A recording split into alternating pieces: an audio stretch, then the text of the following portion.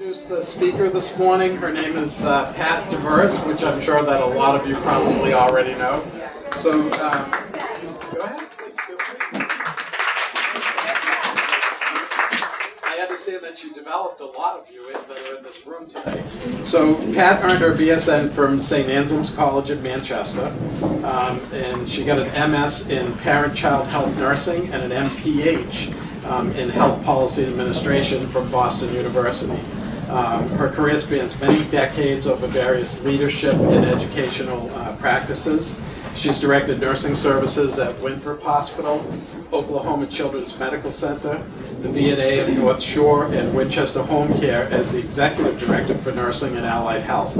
Um, as a clinical specialist at Oklahoma's Children's, she successfully developed the program to transfer long-term ventilator children into the community and into public school systems. Additionally, she implemented and she worked for 12 years in a small adolescent medicine practice, educating teens and their families about disease prevention and health promotion.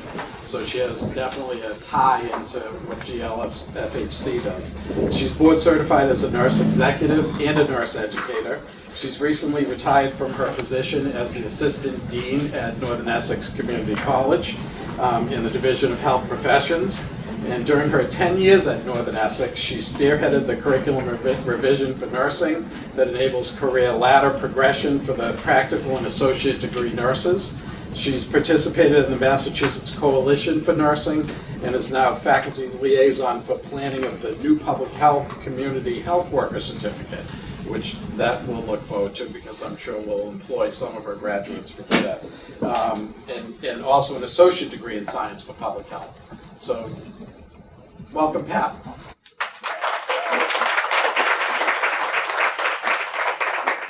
You know, it's great to be back here. I was here in 2011, um, shortly after the Institute of Medicine's talk in terms of nursing and the preparation for nursing. So I'm not going to talk about those recommendations again, but what I hope we can talk about today is nursing and uh, the opportunities that exist, also some of the work done by the Massachusetts Coalition for Nursing, because I think that's the bright spot. You know, in 2011, we talked about what healthcare reform might do, what the Institute of Medicine was talking about what we should do, and I think we've finally gotten some traction on that in terms of what it'll afford us for nursing.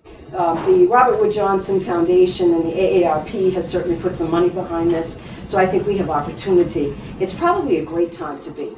A lot more choices for us. So let's look a little bit about these. I'm just going to flip through these very carefully. Um, can you all see this? It's, too bad we didn't put it in the back. Let me tell you about this. This just talks about the fact there are 3 million nurses in the United States. Um, we are a healthy, large group of providers of care. And frankly, the whole idea behind the IOM and some of the issues in the recommendation is that healthcare can be transformed through us. Don't let anybody kid you. It really is through us. I'm not saying that we don't have providers and collaboration, but we do a lot of that hands-on every day. So we really can make a difference, and the Institute of Medicine thinks we will. But this is how we're broken up. So the average age by discipline, um, the LPNs were like 46. The RNs, as of 50, our average age is about 50.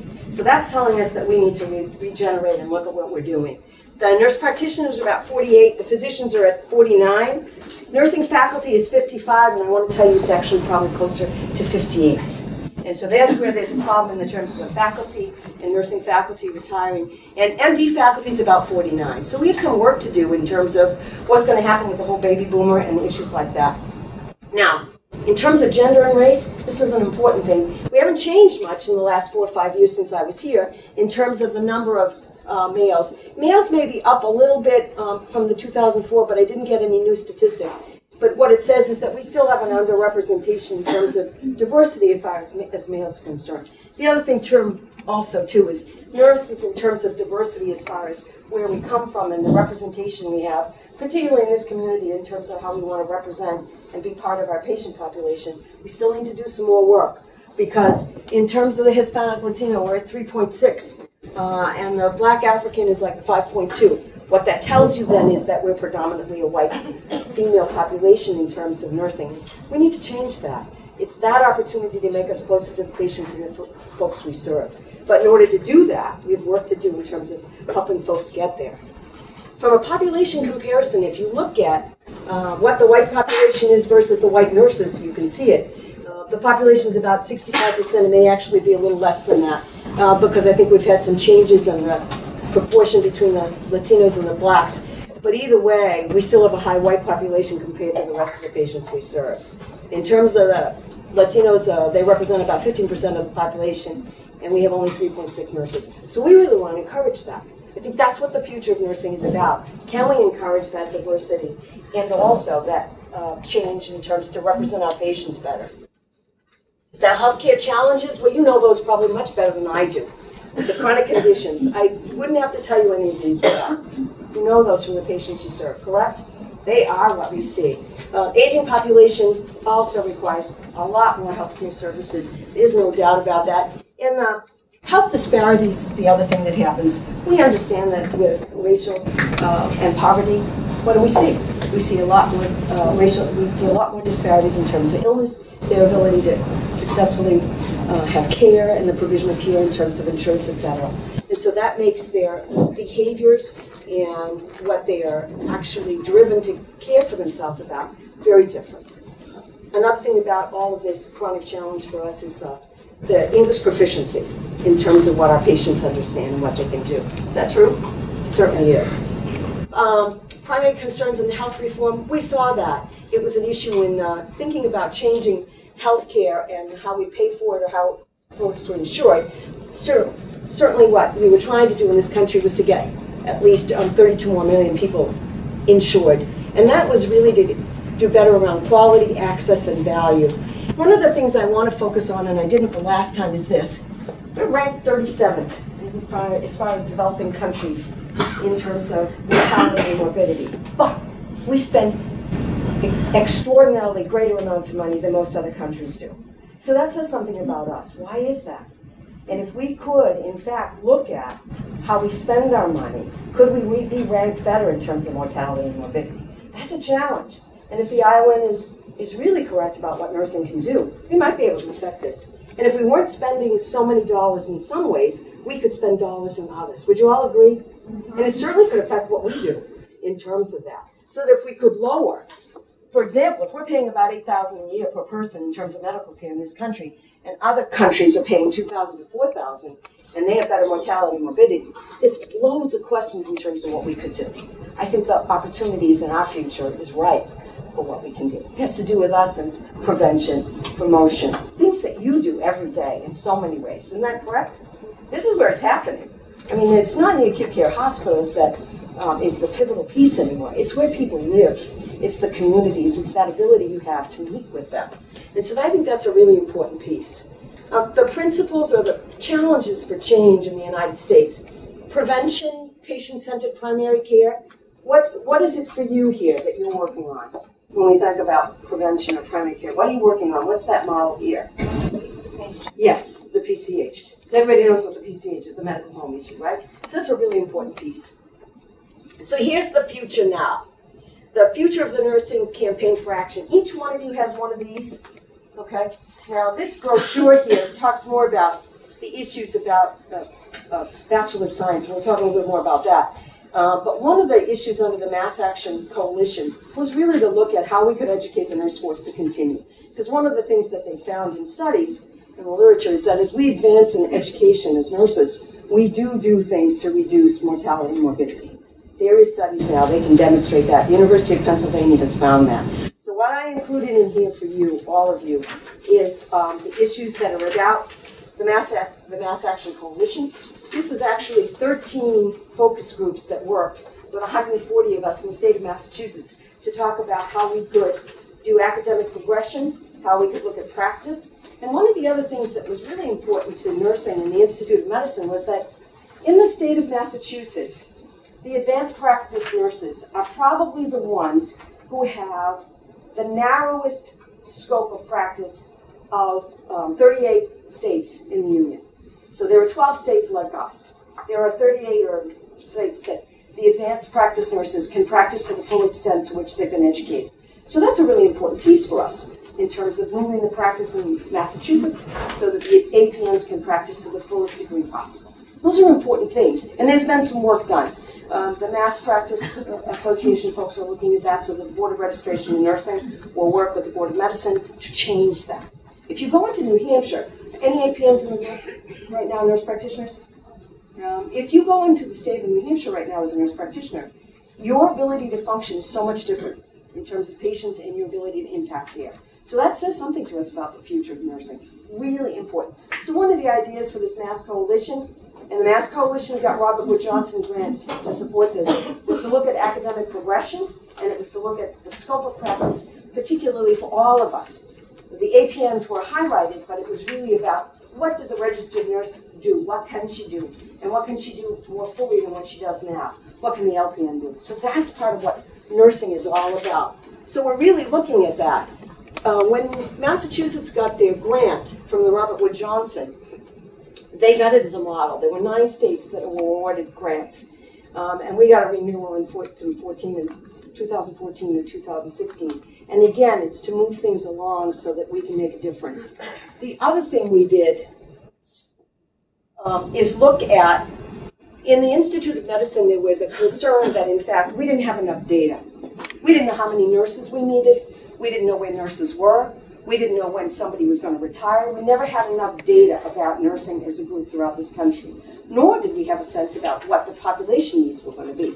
So one of the things that's also happening in this mass coalition through it, well, at least in uh, Massachusetts, is we're looking to figure out who are we and what do we have. In that no, in that brochure, it talks about the fact that Massachusetts right now has 143,000 nurses. So this second paragraph here really is to talk about a little bit about that workforce about nursing right now.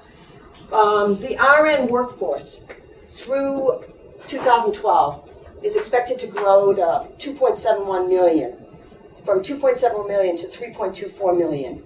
So that's an increase about a half of a million nurses, about 19%. However, replacements for RNs who should in fact retire, of which I've some. Okay, um, should be another half a million. So what that's talking about is by 2022, we have an issue of about another additional million nurses. So if you think about that million based on the fact that we're 3 million right now, that's huge, don't you think? That's a quarter to replace. That's a lot. And the problem with that, in and of itself, isn't that we couldn't do it because we might have enough availability to do it, right? The problem is, in 2012 2003, nursing schools turned away 79,000 qualified applicants.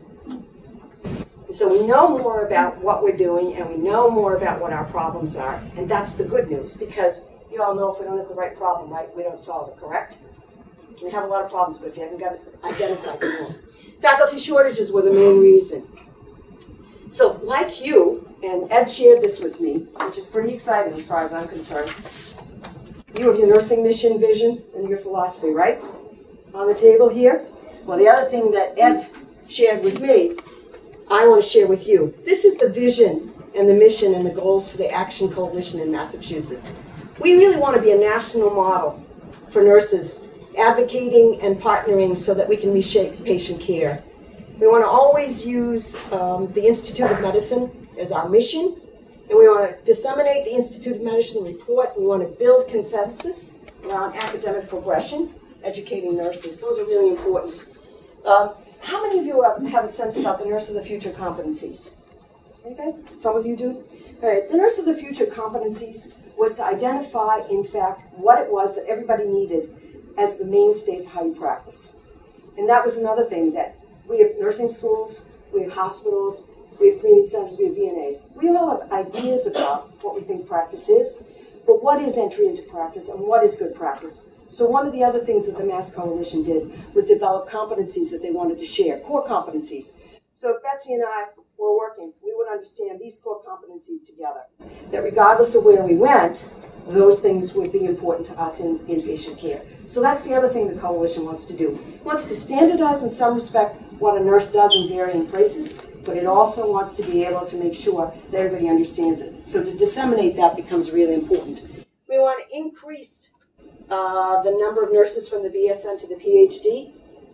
And here's some of the achievements that have happened. Two, from 2010 to 2013, we have increased the number of baccalaureate prepared nurses 34%. Of this group, 81% were people returning to school. Now, there's some of you here that were associate degree that went back to school, right?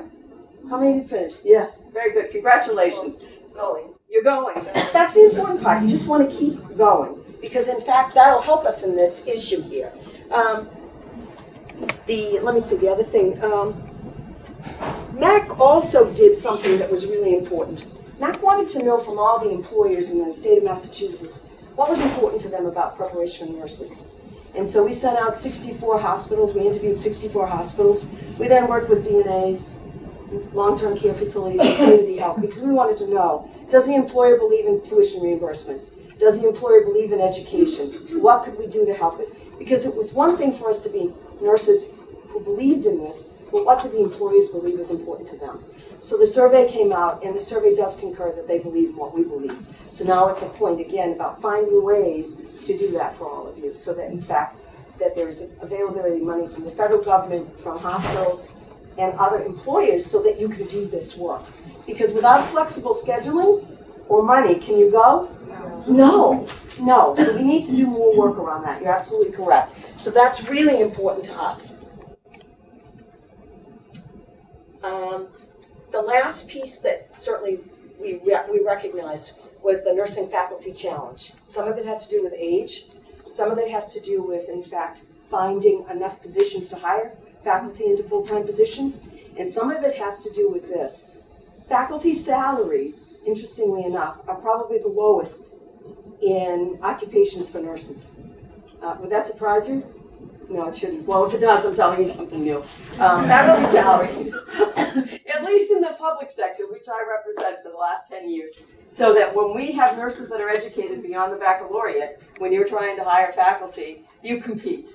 Because if you're a nurse practitioner who's gone on who would like to be an educator, we can't compete because salaries are an issue that are remarkable. So that's another challenge for us is to find ways to augment that so that we compete, so faculty compete in various ways like with other employees. It's a really important piece.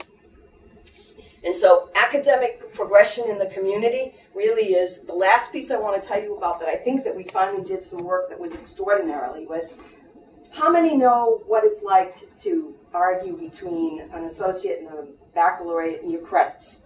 What's the biggest issue? Sometimes somebody doesn't want to accept your credit, right? They want you to do something over again. And the last thing you want to hear is that somebody wants you to take a credit again, right? How many of you heard that? Ooh, it's awful, right? Okay. So one of the things the coalition did was decided to talk to all the public colleges and associate degree colleges so that we could agree, and that's a really important thing when you think about agreeing. It's called negotiation and compromise. Um, that we would do a nurse education transfer compact. It's a fancy four words for saying that if you came to Northern Essex or North Shore or Mass Bay, Mass Bay, Mass Bay, that the sister schools or the brothers, I don't care whatever it is, like UMass Lowell, no seriously, right? UMass Lowell, Salem State, Fitchburg, Framingham, they would make it less problematic for you. They would make it easier so that you could go from one to the other. Because one of the detriments right now to education is it's not easy enough, right? So we worked on what we call the NETC. The NETC was approved in December. So our hope now is that we will all be in a much better place. So that in fact, when you finish one, you can go to the other. Now that doesn't mean you don't have a GPA issue or something, but it means that we're going to accept those things in a much more efficient, effective way. Because if we keep putting up roadblocks, we can't make it happen, right? Roadblocks need to be decreased so that in fact you can do it. Northern Essex, for example, when we were having issues around uh, articulation and agreement, some of the things we did was we worked outside of our sister schools, meaning that the publics. I mean, St. Joseph's really worked with us very hard because they wanted our students. They were all online, so we did that. Um, Rivier was also accommodating. Uh, SNHU, there was a lot of work around the private schools being more willing to look at us. So I think our work with the public schools now balances what we've been doing so that in fact we can make it easier. One of the things in the future for us, very quickly in this community, is um, we're working with Regis. They want a partner, and in a partner that'll be a little different because they'll come to us. And if the partnership goes, they'll come on, on the Lawrence campus, and they'll start teaching on the Lawrence campus. And they will take a lot of your credits. We've already done some of that work. Now, officially, I can't tell you the program is here, because, and, uh, their accreditation hasn't been approved, so you didn't hear that officially. You didn't. We believe that the nursing accreditation will come through for Regis and they can have a second site. But they're also gonna work on the credit per hour. So those are the things I think. Now, I'm not telling you Regis is the be all end all, but I'm telling you it's got good foundation for negotiation about money, to be local, so you don't have to go places, okay? But we've also done those things, I think, with UMass Lowell and some other places. So there's opportunity for you.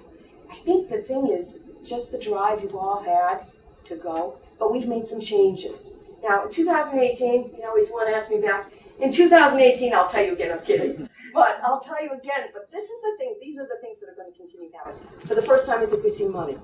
For the first time, I think we talk about things that mean we really believe in what we believe. Don't leave the room here, though, thinking I'm saying to you that we shouldn't have all the layers of nursing we do. That's not what I'm saying. We have a place. We need LPNs. We need associate degree nurses. We need us to all get started because everybody has needs in their lives that are important. Start where you can start. Put your feet on the ground and get going because nursing is a great place. And you know what I wish for all of you? If you have 50% as much fun as I've had, you are in for a wonderful road because it's been great. And the other thing is, there are so many more ways you can be nurses. I'm amazed. You know, I, I, I scanned the job applications, and I go into those, you know, like monster.board and things like that. In a brief time, over six months, in the last couple of years, there were five more new titles for registered nurses. What does that say to you? That says that there is a willingness to look at what we can do. And so it's really just having that hopeful opportunity for all of you. And on that note, happy Nurses Day.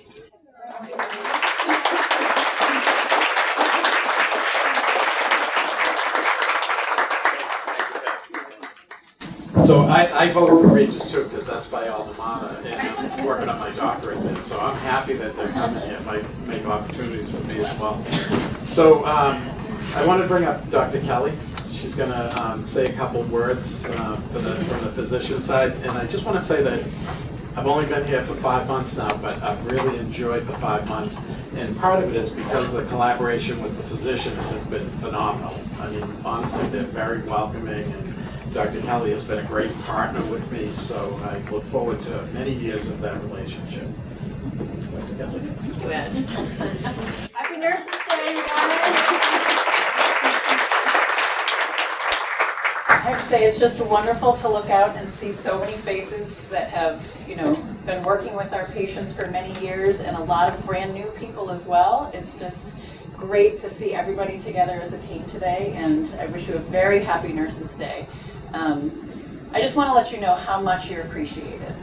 I, I don't think it's, we can't say it enough, you know, how much you're appreciated and how much the patients appreciate all the work that you do every day. I know that the, um, the work can be very challenging.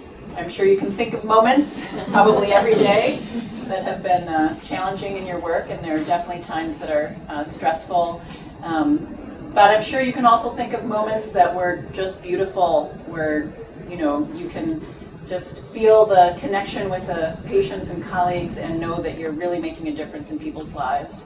And if you can think of those moments, there are many, many more moments that you may not realize how much of an impact you're having on people every day. Um, and that's really important to remember is that as, as caregivers, it's, it's not always um, easy to, to see how much of an impact you're having on other people. But when you're caring for them, it makes such a difference in their lives. It's, it's such an important um, job. And I think that just being nurses, you impact and influence other people because you're caregivers, you know, people see what you're doing and the schooling that you've been through and all of the progress that we make and it has a huge impact on other people. I think that's wonderful. So you're very appreciated. Thank you so much for your work and let's continue to work together and uh, serve our patients um, and work in our teams. I think it's going to be a great future we have ahead of us. Thank you so much for your work. Happy Nurses Day.